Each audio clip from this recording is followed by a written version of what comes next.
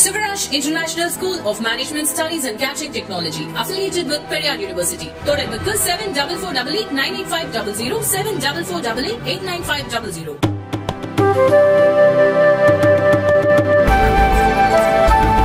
சமீப காலமாகவே சர்வதேச போட்டிகளில் இந்திய கிரிக்கெட் அணி வலுவாக சொதப்பி வருகிறது. குறிப்பாக முன்னாள் கேப்டன் டோனி ஓய்வுக்கு பிறகு ஒரு ஐசிசி கோப்பையை கூட பெறவில்லை. இதற்கு ஐபிஎல் தான் காரணம் என்று பலரும் கூறுகின்றனர். இன்னும் சிலர் வீரர்கள் தேர்வில் நடக்கும் சுய விருப்ப தேர்வுகளையும் குறை கூறுகின்றனர். இது குறித்து இந்திய கிரிக்கெட் அணியின் முன்னாள் கேப்டன் திலீப் வெங்சர்கார் கூறுகையில் கடந்த ஆறு முதல் ஏழு ஆண்டுகளில் தேர்வாளர்களுக்கு தொலைநோக்கு பார்வையோ ஆழ்ந்த அறிவோ கிரிக்கெட் உணர்வுகளோ இல்லை என்று விமர்சித்துள்ளார். பிசிசிஐ பணக்கார கிரிக்கெட் போர்டு என்று சொல்கிறார்கள். நூற்று முப்பது கோடி பேர் இருக்கும் நாட்டில் உங்கள் பெஞ்ச் பலம் என்ன என்று கேள்வி எழுப்பியுள்ளார். ஐபிஎல்லை வைத்து ஊடக உரிமைகளில் கோடிக்கணக்கில் சம்பாதிப்பது மட்டும் சாதனை இல்லை என்றும் சர்வதேச அளவில் ஜெயிப்பதே சாதனை எனவும் கூறியுள்ளார்.